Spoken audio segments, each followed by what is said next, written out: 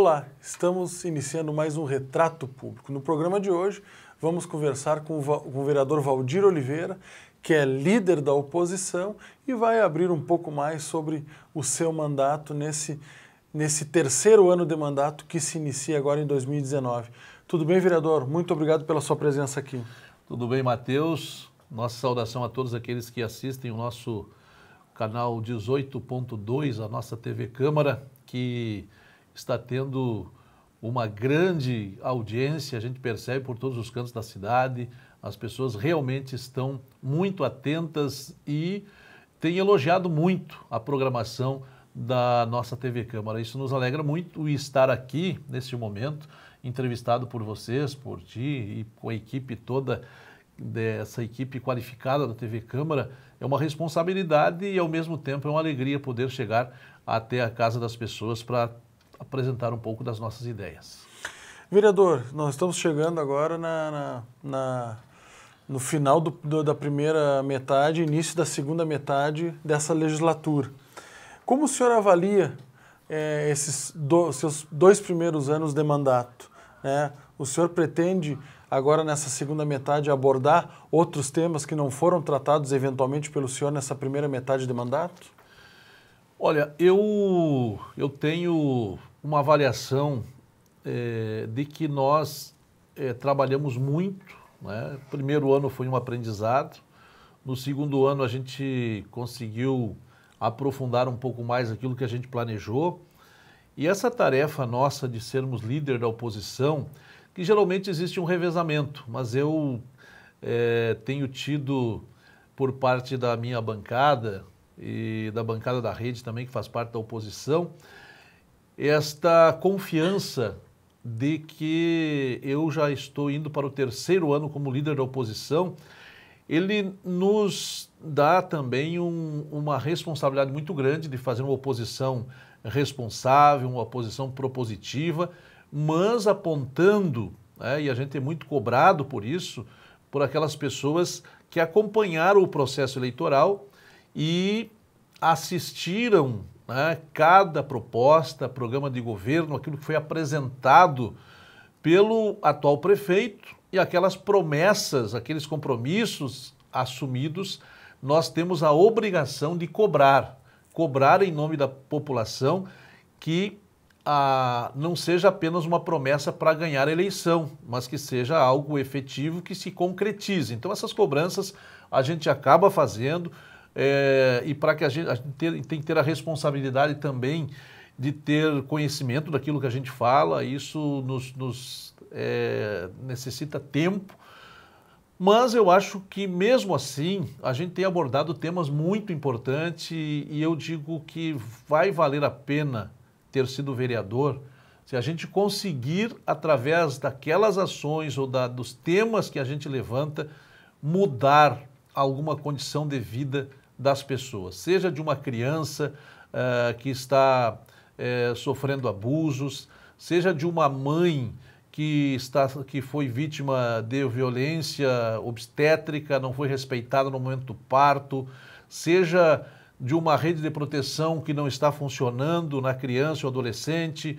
ou seja uma unidade de saúde que não está atendendo bem as pessoas, seja um medicamento que está faltando, seja uma rua que não está tendo condições de trafegabilidade, ou seja, uma Contribui praça, de alguma forma é, uma praça né? que está eh, não dá, não tem espaço para as crianças, enfim, contribuir que a gente tenha resultado, porque não adianta a gente ficar, é, como eu digo, abordando um universo, um guarda-chuva de, de problemas e não, tem, não ter resolução. Então é, é preferível focar em alguns temas e fazer com que as mudanças ocorram. Aí sim vale a pena, porque não adianta, quando tu quer é, fazer tudo, tu acaba não dando conta de nada. Então tu tem que ter foco. É Resolutividade. Resolutividade. Vereador, é, na sua opinião, né, no, no, no, final do ano passado, né, a, o grupo de oposição ao, a, ao governo né, é, mais alguns outros vereadores que não se denominam de oposição, mas se somaram à oposição é, para algumas pautas. Hoje a gente vê que talvez a maioria das pautas, né? Esse grupo, em do, é, 2017 para 2018, virou grupo dos 11 e agora no final do ano passado virou grupo dos 10. Perdeu a eleição da Câmara de Vereadores, teve uma virada. O que, que o senhor atribui a essa, digamos assim, contra-virada que a oposição sofreu no final do ano passado? Olha, eu, eu entendo que para o bem da política, nós precisamos é, de os, que, os, ah, que exista independência dos poderes. Eu acredito que tu não pode, não pode ter, é, digamos, isso qualquer partido que esteja no governo. O governo, o executivo municipal, ele não pode dar as cartas dentro do poder legislativo, porque nós precisamos aqui, nós somos um órgão fiscalizador, um, um órgão, é, um, um órgão que ele por aqui passam todos os projetos, seja do interesse da, da, da sociedade, e tem que haver um, um, tem que separar essas coisas. Mas eu acredito, eu acredito que o acordo, nós tínhamos um acordo administrativo, né, o grupo que, que fez a gestão da casa no ano passado, é, nós tínhamos um bloco de oposição, nosso bloco de oposição somos cinco, né, o, o PT mais a rede, e os outros vereadores independentes que estavam é, alinhados conosco né, nesse processo. E eu me surpreendi muito. Eu, eu entendo que todos têm a liberdade é, e podem, e é natural, que troquem suas opiniões, que troquem, troquem de lado conforme a sua visão, mas houve uma surpresa muito grande para todos nós por todos os compromissos que, que haviam é, já ah, assumidos, compromissos uh, políticos e com, compromissos de gestão, e a surpresa que nós tivemos ali naquele final não, não é não, não tem assim nenhuma relação é, de, de que uh, este ou aquele traiu ou não traiu, mas os compromissos e a palavra empenhada, eu acho que a palavra empenhada para mim ela tem muito valor. E quando tu diz frente a frente para alguém, olha, tu pode contar comigo, nós estamos juntos até o fim, se depender de mim, a, as coisas vão se concretizar dessa forma, e aí tu percebe que no último momento as coisas não são assim, então a gente se decepciona um pouco, mas cada um é responsável pelos seus atos, por aquilo que decide, e eu acredito, eu acredito que independente da, da gestão da, da casa, nós queremos é que o nosso poder legislativo funcione bem, que nós possamos resgatar cada vez mais a credibilidade da política, porque a política ela tem que acabar esta, esta imagem que a sociedade acabou criando dos políticos e, e por, por culpa dos próprios políticos, porque quando tu coloca o teu interesse pessoal ou faz uh, certos tipos de, de, de barganha, uh, para obter vantagens daqui ou dali, a sociedade está vendo. E nós precisamos é que o Poder Legislativo se fortaleça cada vez mais, que a nossa presidenta Maria Aparecida Brizola possa ter uma excelente gestão, aqui torcemos por isso, e que no final, final dessa gestão possamos é, ter o, o, nosso Poder Legislativo cada vez mais fortalecido. Vereador, queria saber, o, o senhor, por exemplo, é irmão de uma grande liderança do município, né, que foi prefeito, hoje é deputado estadual, né, o deputado Valdeci é, Oliveira. Como também, por exemplo, o vereador Ademar Pozobon é irmão de uma liderança do atual prefeito Perfeito. Jorge Pozobon. No seu caso, o senhor acredita que, de repente, por, por, por ser irmão do deputado Valdeci, o senhor não fica mais na mira dos seus opositores, dos opositores do seu partido? Não, olha, eu, eu desde que iniciei aqui, eu sempre tenho dito, na minha própria campanha, eu tenho o maior orgulho de ter um político com a trajetória, a história do Valdeci Oliveira. E então a nossa família tem muito orgulho disso. E eu sempre deixei claro que o meu trabalho, ele é um trabalho é, do Valdir Oliveira, do vereador Valdir Oliveira. Re, tenho muito orgulho de tudo que o, o Valdeci já fez e continua fazendo. E é lógico que a, aqueles que, que querem se contrapor às nossas ideias ou querem, ou querem nos provocar, o que, que eles fazem? Muitas vezes, eles trazem, né? eles acabam justificando, às vezes, muito, muitos, muitos erros que estão ocorrendo, críticas que a gente faz, Aí eles acabam cobrando, não, mas lá o teu irmão foi prefeito lá na tal data e não fez isso. Olha, trazer de volta, e o pessoal traz muito seguido, a gente tem, a gente está preparado para isso. Trazer de volta uma gestão que eu considero que a, a, Santa Maria aprovou. Hoje, se tu conversar com, com as pessoas da nossa cidade, eu tenho muito orgulho disso, porque as pessoas, olha, o Valdeci foi um dos melhores prefeitos que Santa Maria já teve. Isso nos orgulha muito. Não nos, nos envaidece, porque é o compromisso de cada um fazer as coisas bem feitas. Mas aí eh, trazer ah, algo assim é de, de uma gestão que já faz mais de 10 anos, né? foi de 2000 a 2008, e, e querer apontar culpa por coisas que não estão sendo feitas agora ou por deficiências que estão ocorrendo agora, atribuir esta culpa ao prefeito que esteve há quase 10 anos, há mais de 10 anos atrás no, na gestão, eu acho que isto a comunidade sabe que não, que não pega. Mas eu estou sempre preparado e defenderei ah, esta, esta história política do, do meu irmão Valdeci. É um exemplo, é um exemplo de alguém que já foi duas vezes vereador, duas vezes deputado federal, duas vezes prefeito de Santa Maria, está no terceiro mandato como deputado estadual e não existe nada que possa é, tirar uh, dele esta, esta clareza de pessoa transparente, continua até hoje morando lá na Tancredo Neves com a sua família, com uma vida simples, uma vida humilde, né, andando na, na, na, nas comunidades da mesma forma sempre. Então, é alguém que nos orgulha muito e estamos preparados para defender esse legado em qualquer instância sempre. Vereador, o senhor, em 2019, agora, em fevereiro, protocolou um projeto com relação às condições do funcionamento de escolinhas de futebol, de vôlei, handebol e demais, e além de outros esportes, né? É, e esse projeto ele tem um cunho na, na, na, na, proteção também dos jovens, das crianças e dos jovens contra o abuso sexual, a exploração disso por conta de um sonho de ser um atleta.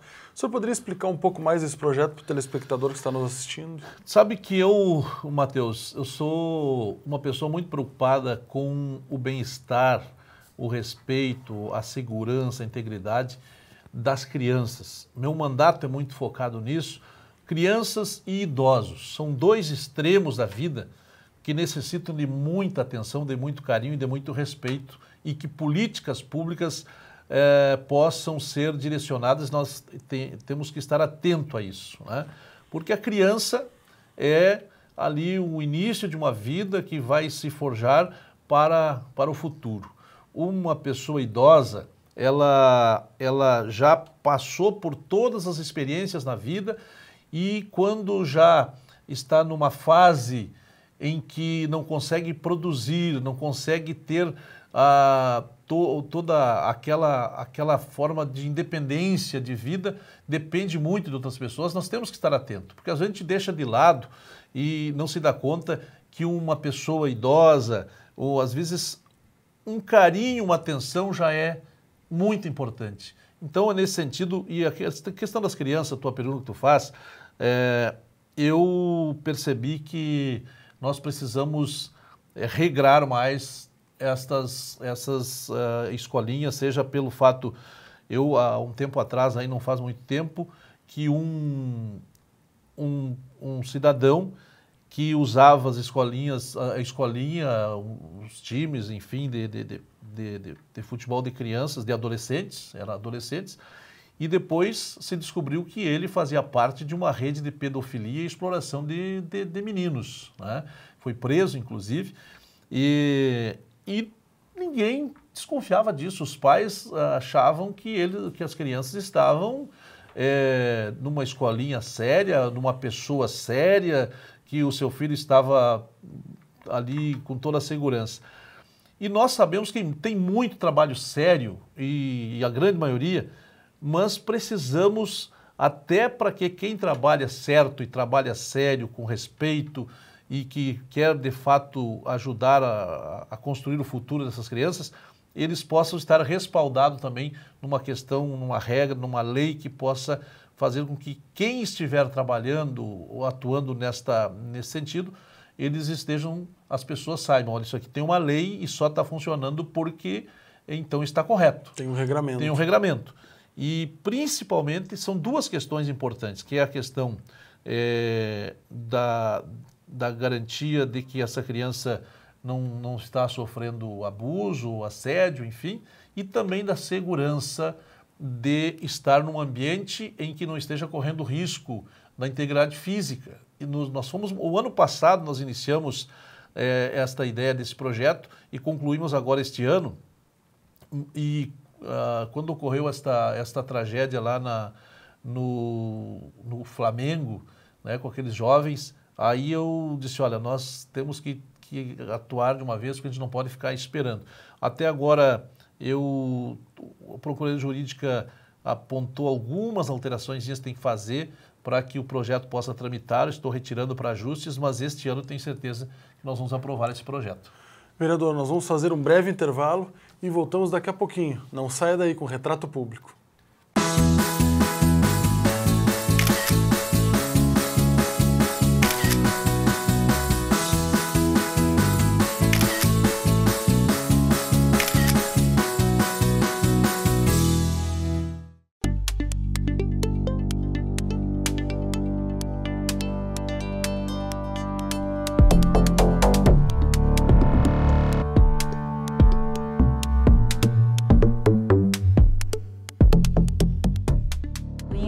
Algumas culturas a questão de homossexualidade ela era mais ou menos aceita. Em algumas culturas a questão da hierarquia social ela era diferente, mas em todas as culturas do mundo existia uma uma diferença muito clara nesse processo de conformação histórico dos países entre homens e mulheres e é, historicamente as mulheres são sempre colocadas e relegadas a segundo plano. Isso tem feito com que a questão da naturalização da violência contra as mulheres seja algo tão tão afirmado, tão parte da nossa sociedade que a gente sequer consegue reconhecer que sim, que nós cometemos violência contra as mulheres, que sim, que essas mulheres que estão agora num processo de maior vocalização e reconhecimento, busca de reconhecimento de direitos, elas têm um papel diferenciado na sociedade a naturalização da violência é algo que faz parte da nossa sociedade, por isso que a gente não reconhece violência de gênero como sendo algo é, importante para o dia a dia da gente.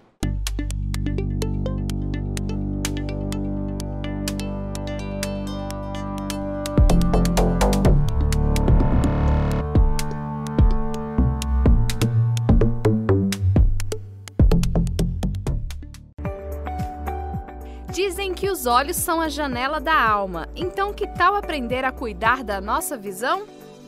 Se estiver passando por algum ambiente com objetos que possam atingir os olhos, não se esqueça de usar o protetor ocular. Caso algum líquido seja derramado ou espirrado nos olhos, lave-os imediatamente com bastante água limpa. Antes de comprar qualquer tipo de óculos escuros ou de grau, consulte o oftalmologista. Usar lentes que não foram prescritas pelo médico podem causar danos graves à visão. Cuidado também com maquiagens, pois algumas podem provocar alergia. Não esqueça os óculos escuros em ambientes com muita claridade. Procure o oftalmologista periodicamente. Caso sinta incômodo, dor ou ardência nos olhos, antecipe sua visita. E lembre-se, jamais use medicamentos como colírios, pomadas e outras medidas caseiras sem a orientação médica. Fique de olho na saúde da sua visão.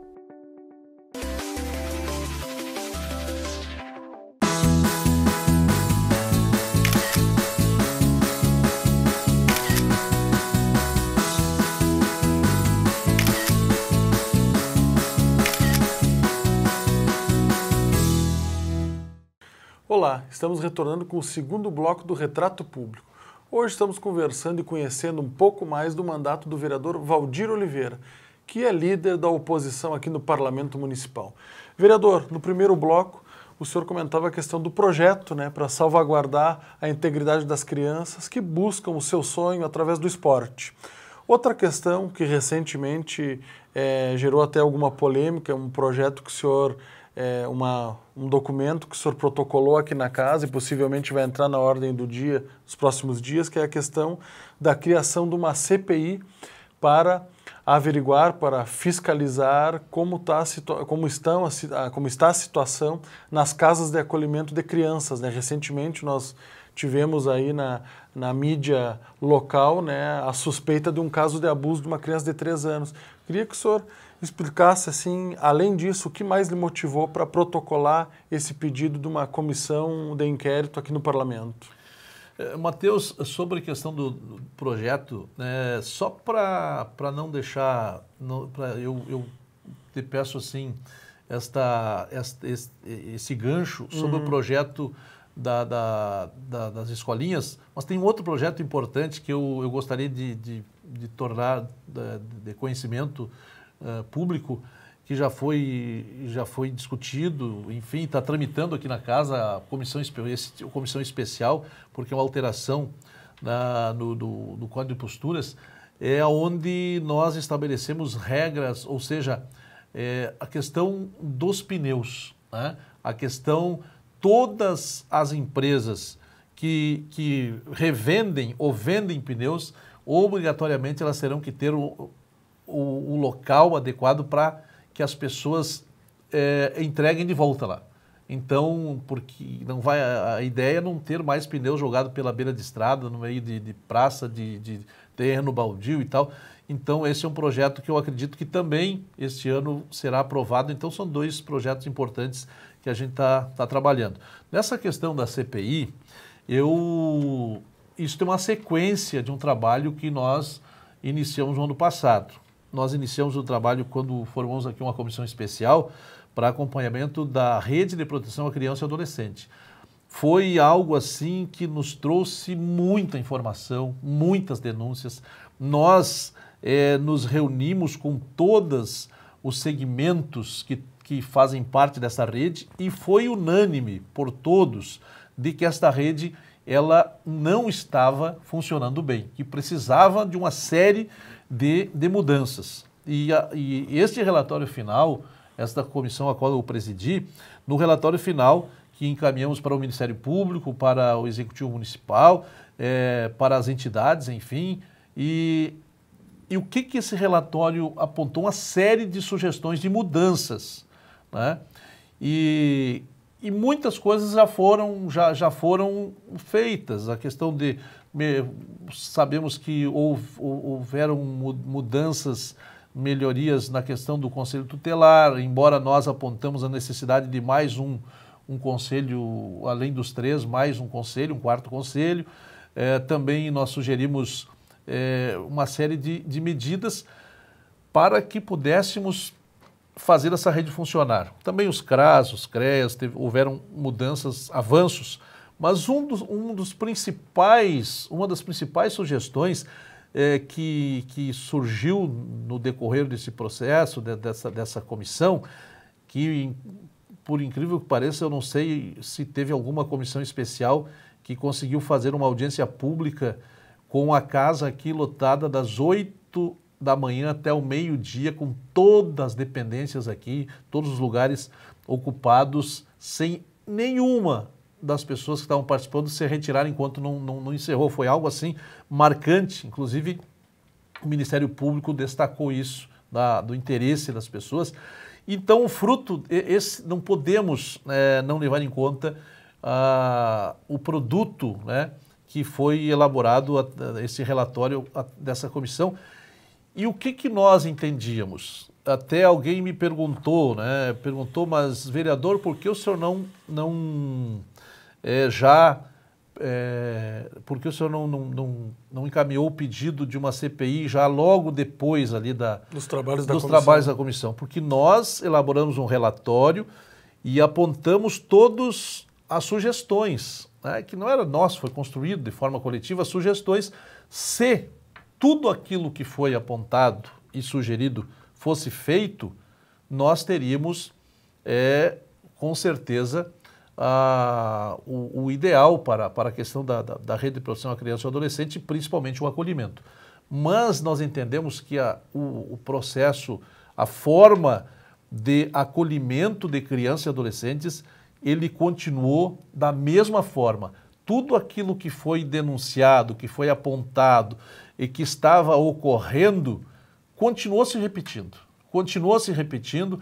E aí chegou a um ponto de que né, a, muitas pessoas nos procuravam, nos procuravam. E a gente acabou se tornando referência nesse tema porque a gente acabou eh, dialogando muito e as pessoas enxergam em nós alguém que possa ser uma voz na busca de solução para isso. E aí quando começa a se repetir o caso, quando, quando eu vou atrás das autoridades né, para conversar, para saber se de fato isto ocorreu, né? E quando tu toma conhecimento de que uma menina de três anos ela sofre abuso, violência sexual dentro de uma, de um, de um, de um, uma casa de acolhimento por um, por um outro jovem que lá também está, nós entendemos que alguma coisa não está funcionando bem e que precisamos de mudanças.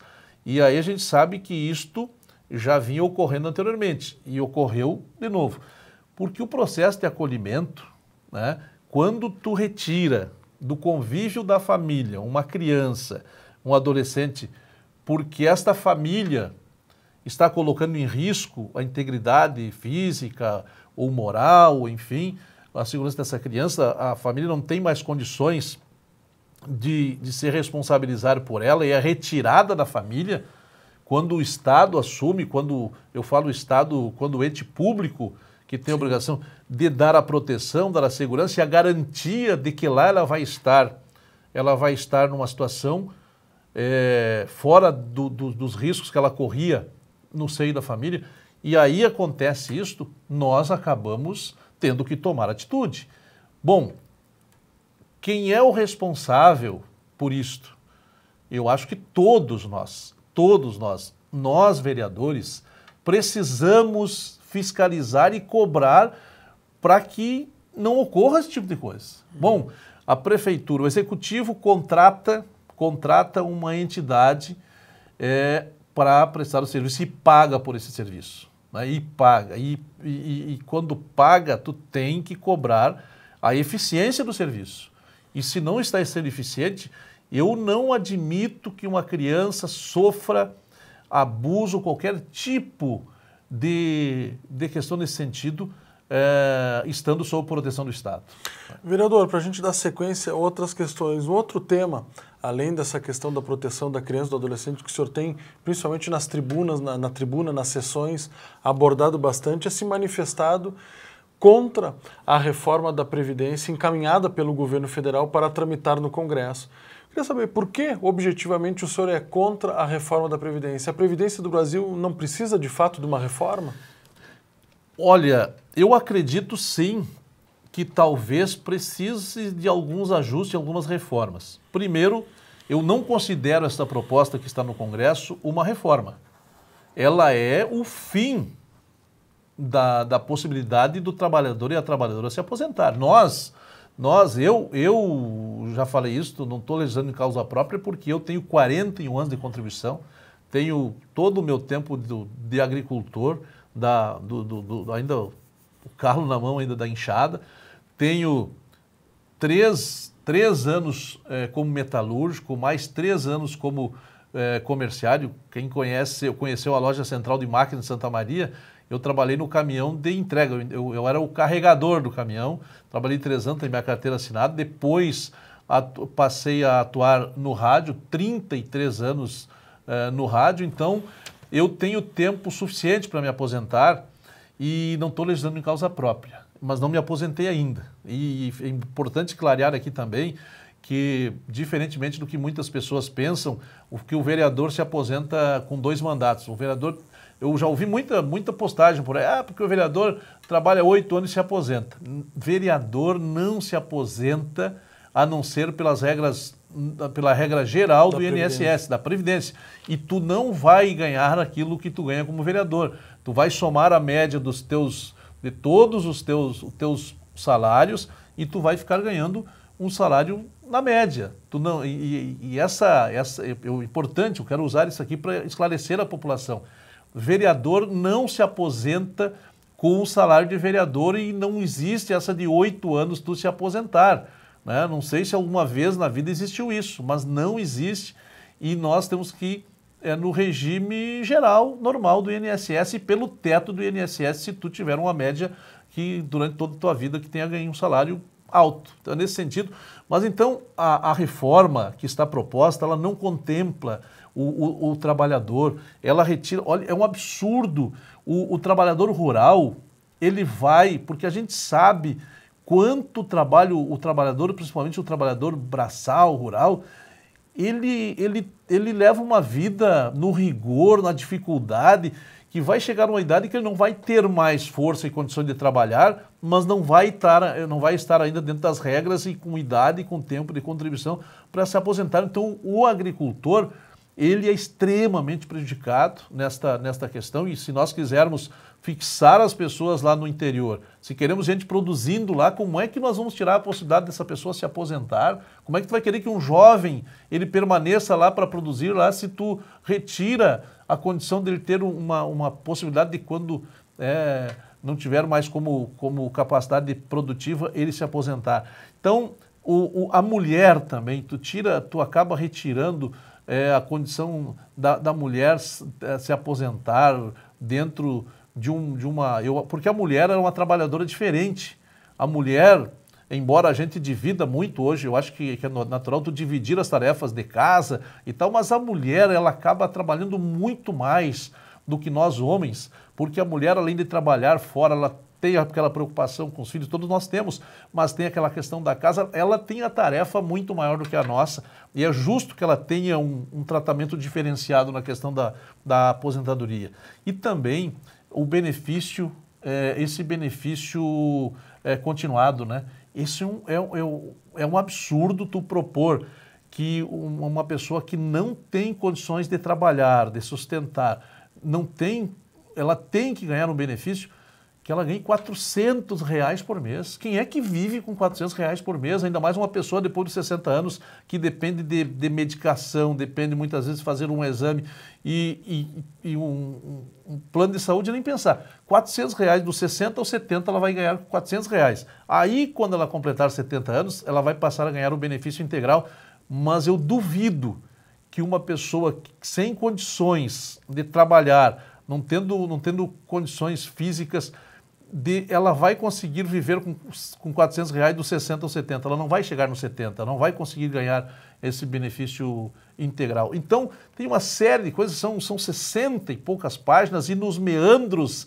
cada artigo ali, ele está embutido, se tu for nos- nos- nas minúcias, tudo acaba tirando a possibilidade das pessoas se aposentarem. E eu digo e, e eu, eu tenho essa convicção: o interesse da reforma da Previdência não é para salvar a Previdência, é para atender o interesse dos grandes banqueiros que estão de olho na Previdência privada. Então, esta para mim é uma grande questão. E mais, se cobrarem tudo aquilo que os grandes empresários, as grandes empresas devem para a Previdência, eu tenho certeza que não precisa, não precisa fazer o que estão fazendo. Eu acho que a sonegação, a- a- o grande rombo da Previdência está na sonegação e dos grandes devedores. Se for a fundo, tenho certeza que a, a nossa Previdência é superavitária. Vereador, estamos chegando ao final do nosso programa, mas em um minuto pedir para o senhor, eh, perguntaria para o senhor a questão, outra questão muito trabalhada pelo seu mandato foi a questão do, do restaurante popular. O senhor pretende seguir colocando cartaz nas sessões, seguir trabalhando pela reabertura do restaurante popular? Mas olha, isso é uma bandeira que eu não abro mão. É um absurdo. Três anos com todo o dinheiro público gasto ali, mais de um milhão para reformar. Tu fecha o restaurante popular para reformar, tu gasta mais de um milhão e fica três anos fechado. Eu fiz essa manifestação na praça pública essa semana no, no banquetaço, na defesa do Conceia. Eu não vou, eu não vou dar trégua, continuar cobrando esse restaurante popular. Tem que estar aberto. Ninguém Ninguém me convence que é só a burocracia que não deixa esse restaurante popular abrir, servir mais de 500 refeições diárias, refeição de qualidade barata para as pessoas que precisam. Eu acho que falta vontade política, eu não sei aonde que está, mas é, só para encerrar aqui, começou com um problema, não tinha laudo dos panelões, depois a questão do PPCI, aí depois já tinha um problema no telhado, aí depois a empresa para fazer a gestão que não. Então, não dá mais para para estar aceitando desculpas. O restaurante popular tem que abrir, eu continuarei batendo nessa tecla até o último dia do meu mandato, mas espero que não precise. Já estamos com 1.084 dias com o restaurante popular fechado. Nós precisamos ficar atentos e esse restaurante tem que abrir. Tá certo, vereador. Muito obrigado por o senhor ter aceitado o nosso convite, ter vindo aqui, abrir um pouco mais do seu mandato. Muito obrigado mais Eu que vez. agradeço a oportunidade, desculpem, às vezes a gente acaba se alongando um pouco no, nos assuntos, mas eu eu, tem tanta coisa que a gente gostaria de falar que talvez tivesse uma hora, duas horas para conversar aqui, mas o tempo é limitado. Muito obrigado a vocês que nos assistiram. Né? Então eu quero sempre repetir, Matheus e todos, o meu gabinete número 9, o nosso gabinete está sempre à disposição. O meu telefone 24 horas ligado. O meu telefone está à disposição de todos. É o 991 41 41 36. Só não atendo quando ele está sem carga na, na bateria, coloco para carregar, mas estou, se eu não atender na hora, dou retorno depois, é o 991 41 41 36 à sua disposição. Vocês são os meus patrões, vocês me pagam e eu tenho que dar o retorno para vocês. Não, não é nenhum tipo, só para fechar aqui, nós não estamos prestando nenhum favor quando atendemos as pessoas e temos que atender com respeito e com atenção, porque vocês são os nossos patrões. Obrigado. Tá certo. Gostaríamos também de agradecer a você pela audiência, a toda a equipe da TV Câmara pelo trabalho colaborativo. Muito obrigado e até o próximo Retrato Público.